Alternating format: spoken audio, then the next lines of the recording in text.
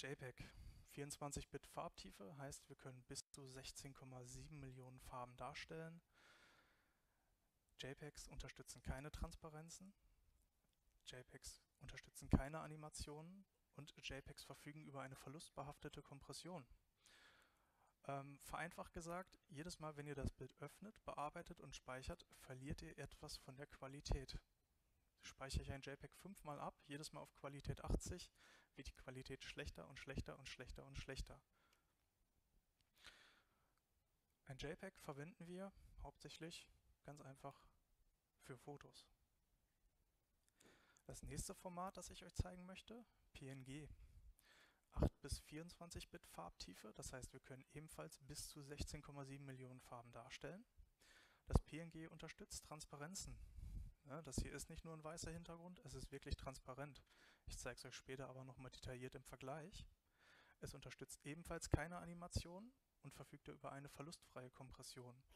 Wenn ihr es also bearbeitet, mehrfach öffnet, speichert, bleibt die Bildqualität gleich. Das PNG ups, verwenden wir größtenteils für Fotos, ähm, weil es Transparenzen unterstützt und wegen der Kompression auch gerne für Logos oder Illustrationen. Das dritte Format, ich habe gerade gespoilert, sorry, das ist das GIF oder in Englisch GIF,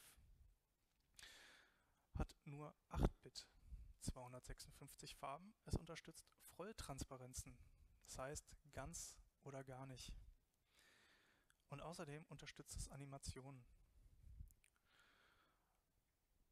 Ebenfalls verlustfrei komprimierbar.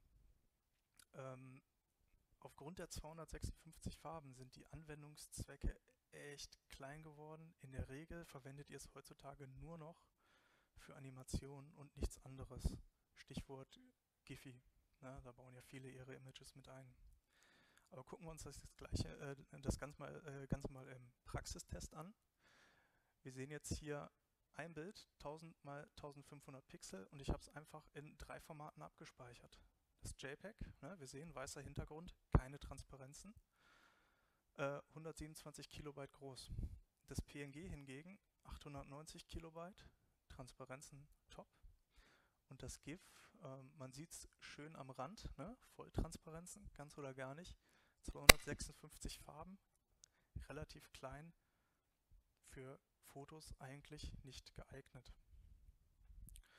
Wenn wir das gleiche nochmal mit der Strichzeichnung nehmen, 500 x 500 Pixel, äh, das ist relativ entspannter. Da tut sich nicht viel von der Kilobyte-Zahl, 26, 23, 24 Kilobyte. Also hier könntet ihr, wenn ihr wolltet, die Strichzeichnung auch als GIF abspeichern. Das ist immer so ein bisschen eine Entscheidung aus dem Bauch heraus, was ihr gerade bekommt und was ihr anwenden möchtet. Würde diese Strichzeichnung jetzt noch einen Verlauf haben, oder würde das GIF direkt schon wieder rausfallen und man würde ein PNG nehmen.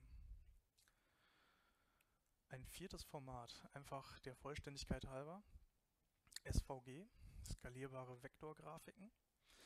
Ähm, banal gesagt, es kommt ohne Pixel aus. Äh, Vektoren hatten einige von euch vielleicht mal in der Schule. Das heißt, es sind Formeln.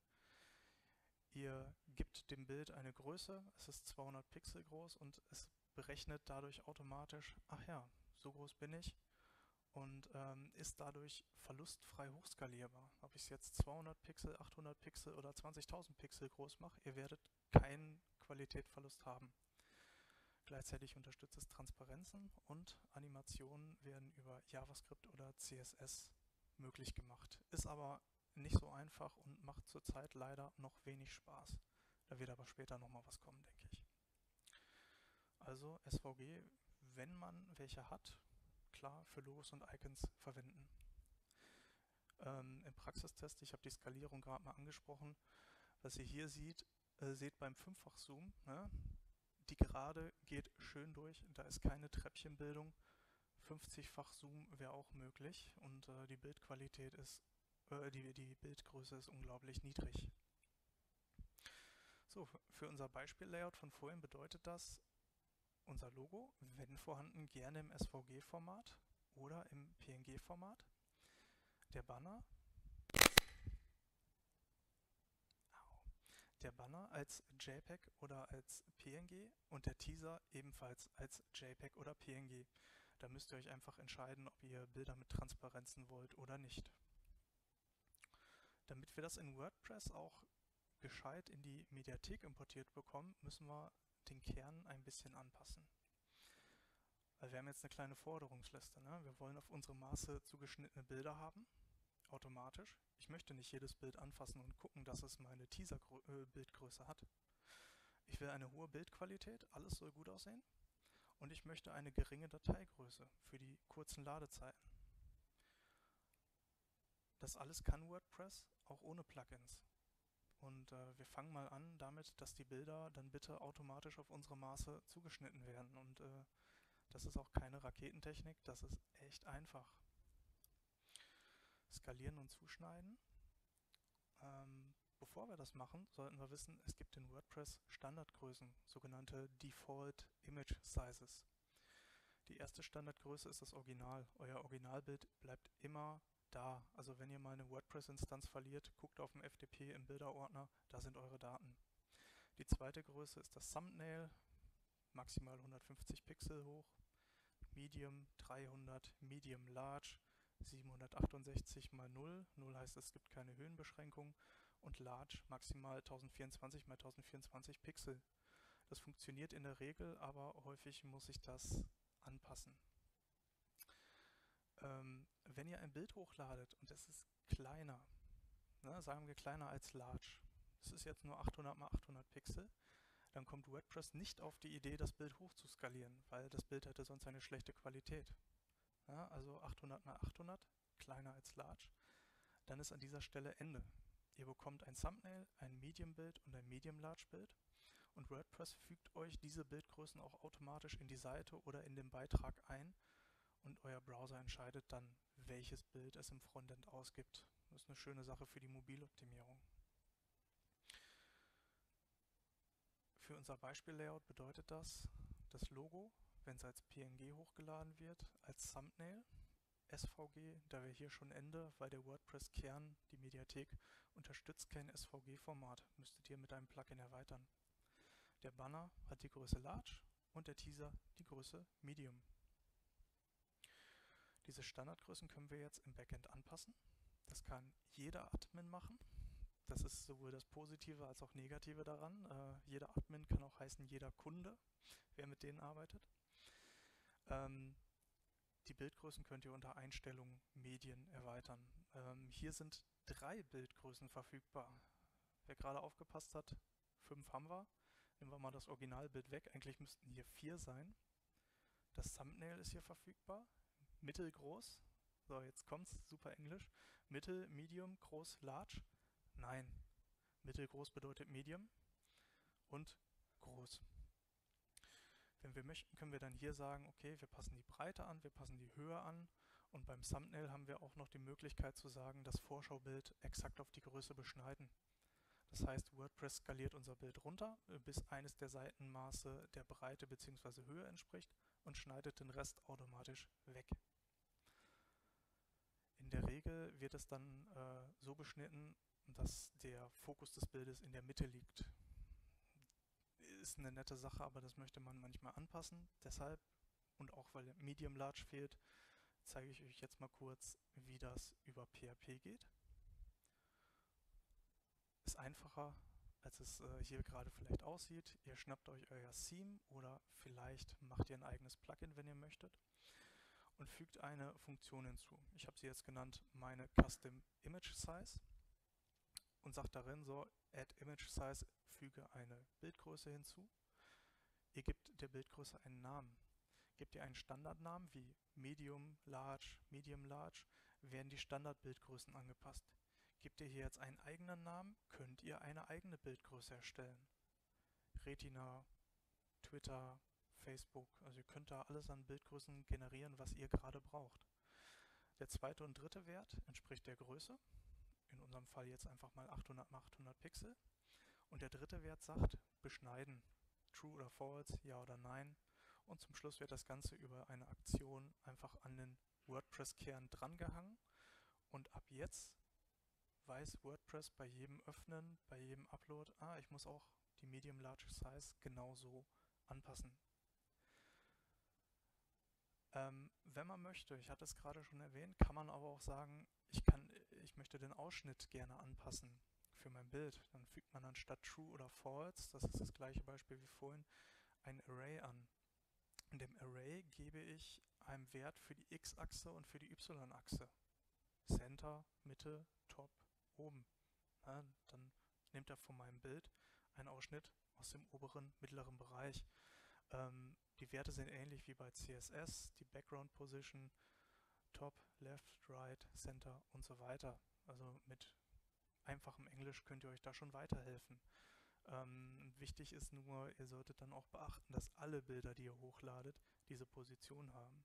Möchtet ihr eine intelligente Bildposition haben, müsst ihr schon auf einen Drittanbieter zugreifen, der dann das Bild und das Motiv prüft und sagt, ah, da ist der Mittelpunkt. Gibt es jede Menge im Netz, die meisten kosten was, muss jeder für sich selbst überlegen, ob es das wert ist. So, gucken wir nochmal auf unsere kleine Forderungsliste, auf unsere Master zugeschnittene Bilder, und zwar automatisch. Läuft, haben wir erfüllt, haben wir gut gemacht. Das heißt, es steht jetzt nur noch die hohe Bildqualität aus und die geringe Dateigröße. Die haben wir jetzt zum Teil schon erreicht, einfach weil wir gesagt haben, wir haben die Bilder genauso groß, wie wir sie haben wollen. Das heißt, der ganze Overhead im Frontend, der ist dadurch schon mal weggefallen. Aber da geht noch was. Und zwar möchten wir die Bildqualität ein bisschen anpassen. Ähm, dazu werfen wir jetzt mal einen Blick unter die Haube. Das ist technisch so das Tiefste, was ich euch zumute. Also ich habe es versucht, möglichst gleich zu halten, aber ohne geht nicht. Es gibt im WordPress-Kern nämlich die Image-Editor-Klassen. Die bieten Schnittstellen zu PHP-Bibliotheken ähm, und ermöglichen es euch mit äh, geringen technischen Kenntnissen stark äh, an der Qualität zu schrauben. Es gibt drei Stück davon. Das eine ist die Hauptklasse und zwei Unterklassen. Die Unterklassen entsprechen jeweils einer PHP-Bibliothek. Die erste ImageMagick oder eMagick und die zweite ist GD. GD wird bei 90% von euch auf dem Server auf jeden Fall installiert sein. ImageMagick eher nicht. Ähm, die Klassen unterscheiden sich und ich habe da jetzt mal eine ganz banale Möglichkeit zum Vergleich genommen. ImageMagick hat 752 Zeilen, GD 467. Ähm, Zeilen von Code sagen nichts über die Qualität eines Programms aus. Ich kann auch in 752 Zeilen totalen Mist schreiben. Aber ähm, im WordPress-Kern zeigt das eigentlich nur, dass wir in ImageMagick mehr Möglichkeiten haben, ähm, unseren Bilder-Workflow äh, unsere Wünsche anzupassen. Also auch Sonderwünsche wie, ich füge die EXIF-Daten, ne, das sind die Daten, die ein Bild hat, wo wurde es aufgenommen, Geoposition, Kamera und Co. Ich füge sie an mein Medium-Bild an, an mein Thumbnail-Bild. Könnte ich damit alles machen. Äh, oder ich nehme besondere Filter. In GD geht das nicht so gut. Das heißt, ähm, der Funktionsumfang der beiden Bibliotheken unterscheidet sich schon. Und äh, da haben wir eigentlich eine ganz leichte Möglichkeit, den Image Workflow anzufassen. Weil, wenn wir es mal vergleichen, links GD, rechts Image Magic, achtet auf die Augen, achtet auf den Glanzpunkt im Auge, achtet auf die Struktur des Felds oberhalb der Augen. Bei GD ist es schon ein bisschen unscharf. Und ich hoffe, dass wir nächstes Mal einen 4K-Beamer bekommen. Ähm, ich habe beides mit der gleichen Qualität abgespeichert, Qualität 60 gesagt, GD, hohe Verbreitung, aber wenn ihr beide Bibliotheken parallel auf eurem Server habt, sagt WordPress schon von sich aus, ich äh, bevorzuge ImageMagick. Ähm, stellt eurem Hoster die Frage, die können euch das in der Regel schnell beantworten. Ähm, wenn euer Hoster gut ist, sagt er, alles klar, habe ich euch freigeschaltet. Wenn euer Hoster ähm, nicht so entgegenkommend ist, müsst ihr vielleicht noch 15 Minuten Selbstarbeit investieren, aber das ist es einfach wert. Bildqualität. Um sie anzupassen, passen wir wieder unser Theme an oder unser Plugin. Die Standardqualität in WordPress ist 82. Hat wer schon mal mit Photoshop gearbeitet? Wunderbar. Mit GIMP, mit Affinity, mit Paint. Qualität 82 in Photoshop entspricht nicht Qualität 82 in GIMP, nicht Qualität 82 im Paint, nicht Qualität 82 in GD, nicht in ImageMagick und nicht im WordPress im Allgemeinen. Das heißt, wenn ihr mit der Qualität schraubt, müsst ihr im Anschluss direkt ein Bild hochladen und euch einen Vorher-Nachher-Vergleich machen. Wie sieht das Bild eigentlich aus? Die Qualität sagt leider nicht, sehr viel aus. Deshalb sollte die Entscheidung, welche Bildbibliothek ihr verwendet, vorher getroffen werden. 1 ist übrigens eine niedrige Qualität, 100 eine hohe Qualität, einfach damit es mal gesagt wird. Und 82, der Kompromiss wurde irgendwann getroffen, dass das eine ganz gute Qualität ist. Das Google Speedtest-Ergebnis ist in Ordnung, also nehmen wir es. Wenn wir das anpassen wollen, können wir das ebenfalls über eine Funktion machen. Meine Custom Quality, die gibt einen Wert zurück. Ich setze meine Qualität jetzt auf 90. Da könnt ihr einfach irgendeine Zahl zwischen 1 und 100 eintragen. Und WordPress wendet das dann über die beiden Add-Filter, die ich dort unten aufgelistet habe, automatisch ähm, auf eure Mediathek an. Ähm, es gibt hier einen Spezialfall. Der erste Filter sorgt dafür, dass die Standardqualität runtergesetzt wird. Und der zweite Filter sorgt dafür, dass die Standardqualität speziell für JPEGs runtergesetzt wird. Wenn ihr also zwischen einem PNG und einem JPEG in der Qualität unterscheiden möchtet, könnt ihr das hierüber ganz leicht machen und ohne irgendwelche Abfragen, welchen äh, äh, MIME-Type das zum Beispiel hat. Optimierung. Jetzt kommen wir wieder zum seichten Teil. Verzerrung. Hat schon mal jemand ein verzerrtes Bild auf der Seite gehabt? Siemens installiert oder sonst was? Wenn sowas kommt, dann passiert das in der Regel, weil die Breite und die Höhe im CSS festgesetzt wurde. Wenn ich ein Bild habe im Format 4 zu 3, aber im CSS sage, ja komm, 500 mal 500, gib ihm, also quadratisch. Ja, dann sagt sie, das ist kein Ding, mache ich und staucht euch das Bild zusammen. Deshalb ähm, ist es wichtig, dass ihr, wenn ihr die Breite oder Höhe fest angebt, das Gegenstück davon auf Auto zu setzen. So skaliert er das Bild proportional für euch. Noch besser ist es, wenn ihr zusätzlich Max Breite bzw. Max Höhe mit dazu gibt. Das sorgt nämlich dafür, wenn ihr ein Bild in der Größe 500 einbaut, das Originalbild aber nur 400 Pixel breit ist, dass das Bild nicht hochskaliert wird. Das mag vielleicht eine gute Idee erscheinen, aber selbst wenn ihr von 500 auf 501 Pixel hochskaliert, sorgt der Browser dafür, dass es massiv unscharf wird. So ein Problem hättet ihr in Photoshop zum Beispiel nicht, wenn ihr das macht, aber im Browser sind äh, ja keine Bildbearbeitungsprogramme und nur auf die schnelle Ausgabe von Medien optimiert. Ein zweites Problem, Unschärfe. Ähm, man sieht jetzt schon den Hintergrund nicht, habe ich gerade leider festgestellt, als ich in der Mitte stand, aber der Hintergrund besteht eigentlich nur noch aus Wolken, die Augen glänzen nicht mehr so, das Fell ist nicht mehr so schön. Was ihr hier machen könntet, wäre im PHP die Bildqualität zu erhöhen, das haben wir gerade schon gesehen, oder wieder mit der Breite und Maximalbreite bzw. Höhe zu arbeiten. Was ihr aber auch machen könnt, ist über CSS die Anpassung über Image Rendering in Erwägung zu ziehen. Ein Browser, wenn er ein Bild ausgibt, lässt immer einen eigenen Image Rendering Algorithmus drüber laufen. Also selbst wenn ihr sagt, nein, mein Bild wird nicht bearbeitet, ich gebe es in Originalqualität aus. Der Browser macht trotzdem etwas damit. Ihr könnt jetzt höchstens überlegen, ich nehme das automatische Image Rendering, wer schon mal Photoshop vor sich hatte, bikubisch, bilinear. Ich nehme Crisp Edges, knusprige Kanten. Äh, die Kanten behalten ihre Schärfe. Oder, das ist richtig cool, wenn ihr noch Icons habt, die im PNG-Format oder sonst was sind, 12x12 Pixel, das Image Rendering auf Pixelated setzen. Das ist eine der wenigen Möglichkeiten, Bilder hoch zu skalieren, ohne dabei an Qualität zu verlieren, weil es eine harte Pixelwiederholung gibt. Ja, also habt ihr einen kleinen Pfeil nach links oder rechts, könnt ihr den problemlos von 12 auf 48 Pixel hochskalieren und habt dabei eine wunderbar kleine Bildgröße, weil der Browser für euch die Rechenarbeit übernimmt. Ganz wichtig, wir sind beim Optimieren, wir sind nicht mehr beim Konfigurieren. Wenn ihr im Zuge der Optimierung noch sagt, ich verändere die Bildqualität, habt ihr die Bestandsdaten nicht verändert. Das zählt nur für Bilder, die ihr neu hochladet. Deshalb meine Bitte an euch, Bilder regenerieren. Es gibt Plugins dafür, ähm, Regenerate Thumbnails zum Beispiel. Die nehmen den kompletten Inhalt eurer Mediathek und berechnen diese Bilder neu. Ähm, zum Tempo, wir hatten mal ein äh, Autohaus als Kunden, der hatte 10.000 Bilder, 2 MB groß nach 40 Minuten war das durch. Ja? Also 10.000 Bilder, jeweils 5 äh, Thumbnail-Größen. ist vollkommen in Ordnung. Wenn ihr jetzt 50 oder 100 Bilder in eurer Mediathek habt, äh, die Zeit reicht nicht mal mehr, um sich einen Kaffee zu holen. Aber das nur am Rande. Das letzte, das seht ihr wahrscheinlich überhaupt nicht. Artefakte. Die Wolken, die wir haben, sind ein einziger Pixelsalat geworden. Das Fell der Katze an den Seiten ebenfalls. Das sind einfach nur noch Klumpen. Ne? Artefakte sind Störungen durch Komprimierung.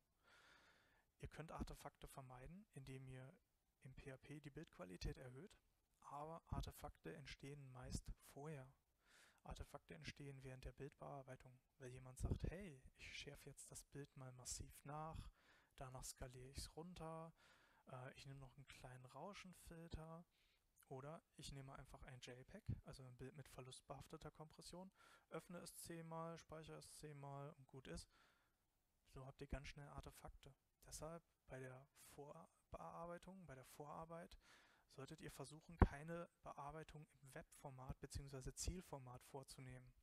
Eine Alternative wäre Photoshop, ne, das PSD-Format oder auch ein TIFF-Format, was noch den charmanten Vorteil hätte, dass Ebenen erhalten bleiben. Ne. Ich bevorzuge meistens das Photoshop-Format, ähm, weil das TIFF-Format in der Regel keine Einstellungsebenen behalten kann. Zum Schluss Erfahrungsberichte, Geschichten aus dem Netz. Ich hatte schon ein bisschen erwähnt ne, mit Browser und Image Rendering. Ich gebe in einem Browser mein Bild aus. Es ist immer das gleiche Bild, aber wenn ich fünf verschiedene Browser nehme, werde ich das Bild in fünf verschiedenen Qualitäten bekommen. Ähm, Browser haben unterschiedliche Engines, was das Rendering angeht. Browser haben im CSS unterschiedliche Sizing-Modis. Ähm, kleines Beispiel, sagen wir, dieses Bild ist 300 Pixel groß. Ich setze in CSS eine Border drum, ne, ein Pixel, links und rechts. Wie groß ist das Bild dann? Ist es 300 Pixel oder ist es 302 Pixel groß durch meine CSS-Anpassung? Ne? In dem Moment, wo es 300 Pixel groß ist, wird mein 300 Pixel großes Bild runterskaliert um 2 Pixel und die Border wird drumherum gesetzt. Runterskalieren gleich Unschärfe. Sieht nicht gut aus. Ähm, es empfiehlt sich hier einfach in Google Analytics einmal nachzuschauen, welche Browser benutzen eure Kunden oder Besucher, wenn ihr nichts verkauft. Ähm, und prüft die Seite. Ist alles okay? Sieht alles gut aus? Ist alles wunderbar? Sehen Sachen nicht so schön aus? Geht der Ursache auf den Grund und setzt euch ein Zeitlimit. Wenn ihr länger als fünf Stunden braucht, es zu optimieren und es ist noch okay, was die Seite euch ausgibt, überlegt euch gut, ob ihr weitere 5 bis 10 Stunden darin investieren wollt, weil wir haben vorhin Stellschrauben gesehen, die deutlich mächtiger sind als eine kleinere Browser-Anpassung. Und ihr wisst auch nicht, ob mit dem nächsten Browser-Update das Ganze vielleicht schon behoben wird. Deshalb das gleiche Bild, nur anders in verschiedenen Browsern. So, und die zweite Geschichte aus dem Netz äh, dürfte ein bisschen interessanter sein. Da geht es um Speedtests. Hat schon mal jemand einen Speedtest gemacht für seine Seite? Ja, das ist eine gute Quote. Ähm, es gibt Speedtests speziell für Bilder. Äh, das ist zum Beispiel der Cloudinary Speedtest. Und der gibt euch am Ende eine Punktzahl, hier eine Prozentzahl und sagt, hey, dein Bild hat 85% von 100% erreicht. Ihr könnt hier noch was einsparen, ihr könnt das Ganze noch besser machen. Und ich habe mal im Zuge eines Hackdays meiner Firma gesagt, gut, ich guck mal, wie ich 100% in so einem Speedtest bekomme ich habe jetzt acht Stunden Zeit, das sollte ja eigentlich machbar sein. Ich habe angefangen, ich habe ein Bild reingeworfen, 93 Kilobyte groß und der Speedtest hat gesagt, äh, da geht noch was. 80 KB. 80 Kilobyte. Ich muss langsam sprechen, dann knackt es nicht so. 80 Kilobyte, das ist unser Ziel. Ja, dann habe ich noch ein bisschen an den Stellschrauben gespielt, die ich euch vorhin gezeigt habe. Und habe von den 80 Kilobyte, die ich erreichen wollte, 40 Kilobyte erreicht. Also halb so groß wie das, was mir der Speedtest gesagt hat. Und da dachte ich mir, ja geil, 100% erreicht, hat eine halbe Stunde gedauert, danke, tschüss. Nee, leider nicht. Weil als ich das Bild dann nochmal reingeladen habe zum Speedtest, hat mir der Speedtest gesagt, 40 KB. Ja, ist ganz geil, äh, wir können es mit 37 KB. Dann habe ich es nochmal komprimiert, und nochmal komprimiert und nochmal komprimiert. Und irgendwann sah das Fell der Katze aus wie so eine Schüssel Müsli. Ja, man hat also gar nichts mehr erkannt. Und der Test hat gesagt 99%, aber da geht noch was. Ähm, klar, JPEG, verlustbehaftete Komprimierung, ich kann jedes Mal sagen 90%, das Bild wird kleiner und kleiner und kleiner. Ähm, aber bei den Speedtests muss man einfach ein bisschen weniger an Google und Co., sondern ein bisschen, ah, sondern ein bisschen mehr an seine Kunden denken. Ne? Bilder sorgen dafür, dass ein Produkt verkauft wird. Bilder sind Emotionen. Und wenn diese Emotionen eine geringe Qualität haben, na, spinnen wir jetzt mal ein bisschen gestalterische Analyse. Ich habe ein Bild in geringer Qualität, ich habe ein Produkt, also hat dieses Produkt auch eine geringe Qualität. Man verkauft dadurch einfach weniger. Deshalb, wenn ihr einen Speedtest vor euch habt und ihr habt ein Ergebnis, das halbwegs akzeptabel ist, überlegt euch, ob ihr dieses Ergebnis nicht behaltet und sagt, alles für meinen Kunden, der hat mehr davon. Die Optimierung wird aber nie aufhören. Nach der Optimierung ist vor der Optimierung. In dem Sinne, viel Input. Habt ihr Fragen?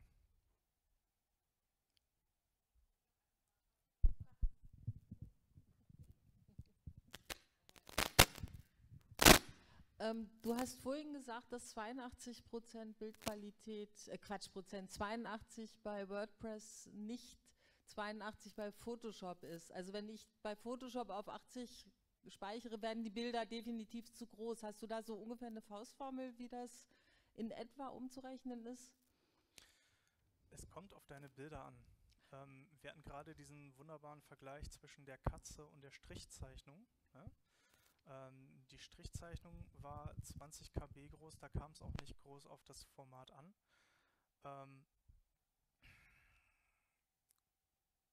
ihr müsst wirklich gucken, was für einen Inhalt ihr hauptsächlich in, euren, in eurer Mediathek hochladet. Seid ihr Fotografen, tut euch den Gefallen, nimmt eine hohe Qualität, zeigt den Kunden, dass ihr gute Bilder äh, ausliefern könnt. Seid ihr ein Illustrator, achtet darauf, dass die Farben nicht kaputt gehen. Ne? Und dafür müsst ihr wirklich gucken, was ist das Medium, was ist die Umgebung, mit der ihr hauptsächlich arbeitet und passt euer ähm, Theme eure, eure Einstellungen darauf an.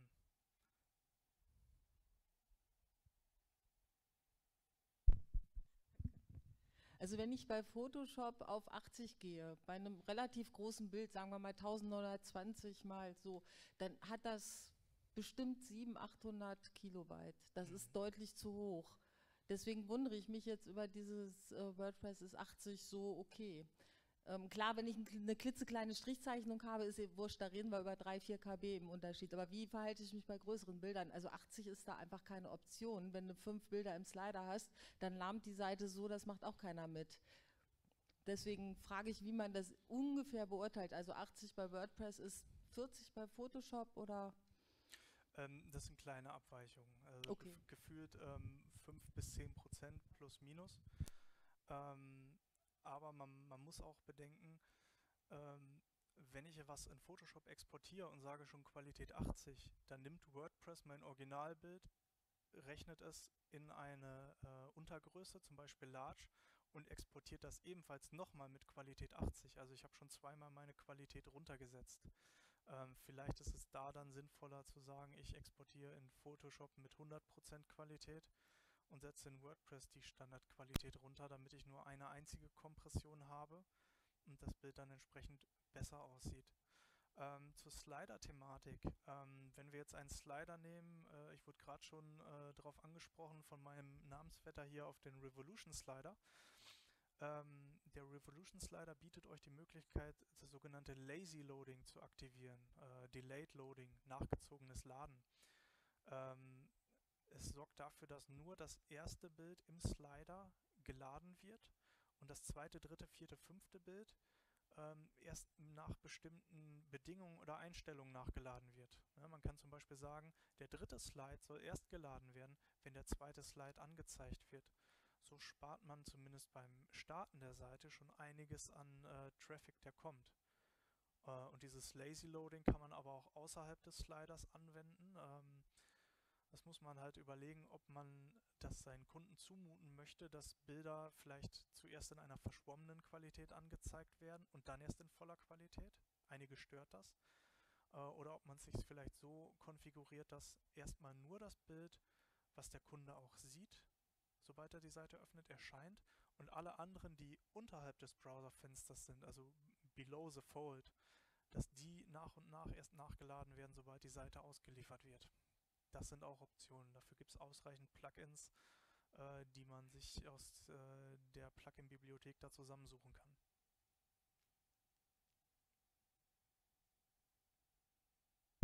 Habt ihr sonst noch Fragen? Okay, komm.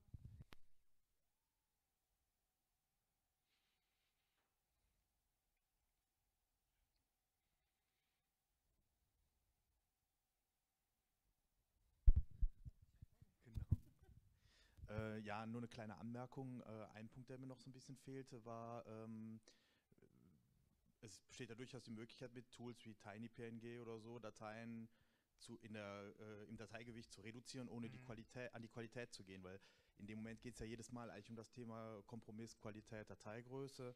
Ähm, es gibt ja auch einzelne äh, Plugins, die sehr interessant sind, die man nutzen kann, um direkt beim Upload ob es jetzt Optimus ist oder Smashit, äh, direkt die Bilder an sich reduzieren zu lassen. Das ist beträchtlich, was man da nochmal rausholen kann, ohne dass die Qualität drunter leidet.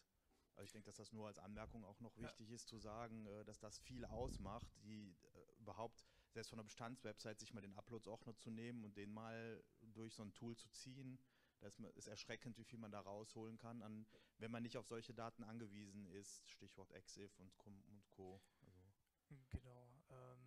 Exif und Co. ist äh, ein guter Stichpunkt. Also ich musste hier gucken, wie ich das riesige Thema, da könnten wir wahrscheinlich acht Stunden am Stück drüber sprechen, auf 30 Minuten runterdampfe.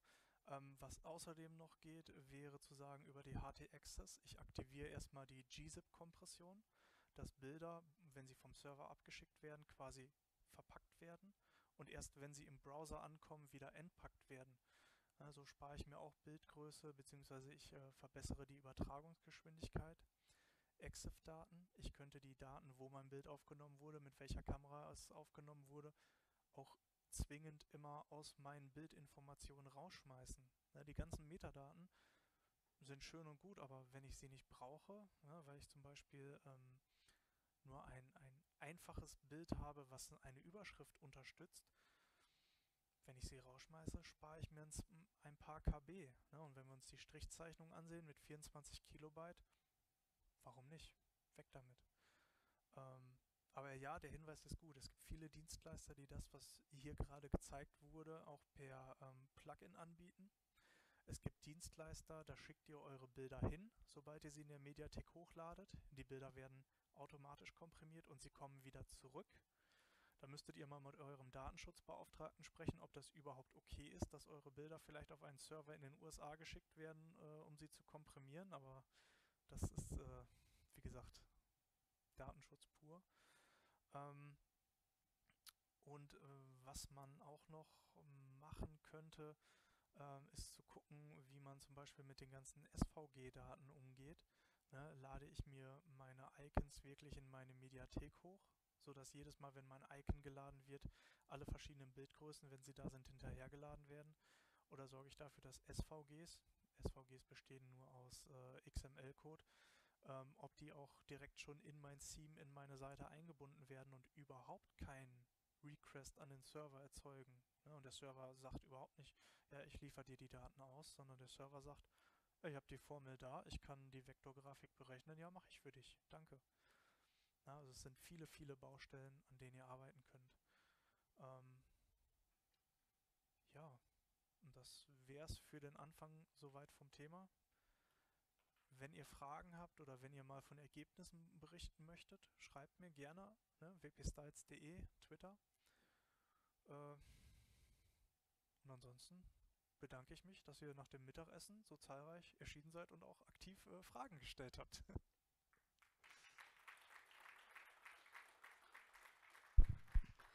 Ja, auch ich möchte mich bedanken, vor allen Dingen auch bei dir, dass du tatsächlich noch geblieben bist. Wie wir alle leider mitbekommen haben, ist deine bessere Hälfte gesundheitlich doch etwas sehr angeschlagen. Das heißt, ihr macht euch jetzt gleich auf den Heimweg.